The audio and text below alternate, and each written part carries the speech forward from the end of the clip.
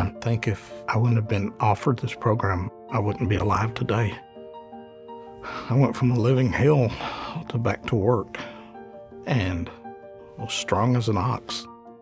The chemo that we were doing when I left Dallas wasn't working. I mean, two weeks after chemo, I was having bumps grow again at the side of my head. 13 years of chemo before I got to MD Anderson. The trial that, that I took was a CAR NK uh, clinical trial. It was uh, 2018, and I was patient number eight. After receiving the product, uh, the magic drug, I was embarrassed to go into the hallways because all them sick people was out there and I wasn't sick. The immune system is our body's natural defense against infections and disease, and it is a powerful ally in our mission to end cancer. Immune cells, like T cells and natural killer or NK cells, work as our body's defense to find and eliminate cancer. But cancer cells can be devious and find ways to hide or block immune cells. Patients with cancer need new treatment options to overcome these challenges. Fortunately, there is a secret weapon cell therapies. These sophisticated, living treatments are created from immune cells taken from a patient or healthy donor and modified to enhance their cancer fighting abilities. MD Anderson clinicians and researchers have shaped the field of cell therapies, and we are just getting started. MD Anderson's Institute for Cell Therapy Discovery and Innovation will lead the world in developing and advancing cell therapies for patients in need.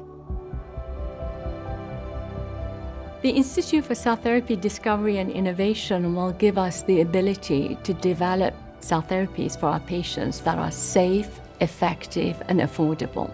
There are already cell therapies out there, but these are patient specific. With the help of the Institute, what we're hoping to achieve is to make these off the shelf treatments available such that we can treat patients faster, reduce the complications related to cell therapies, and of course, expand access to these potentially life saving therapies to many more patients. One of the things that we've seen historically for cell therapy is that's been a treatment that's been mostly given for patients with blood cancers.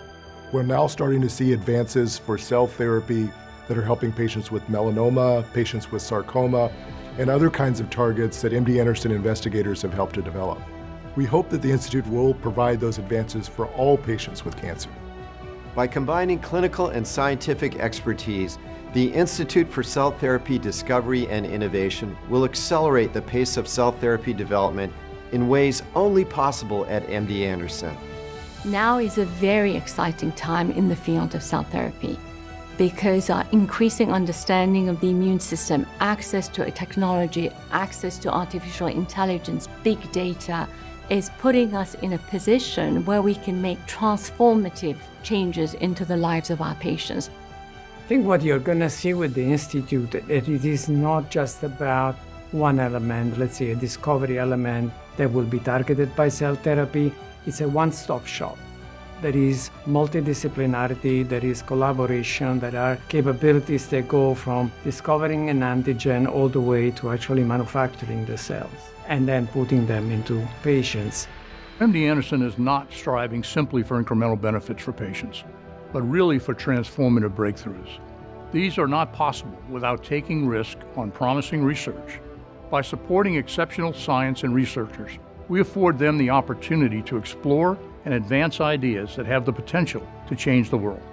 What drives my team and I is to see how our scientific discoveries can be translated into tangible, real world clinical therapies for our patients.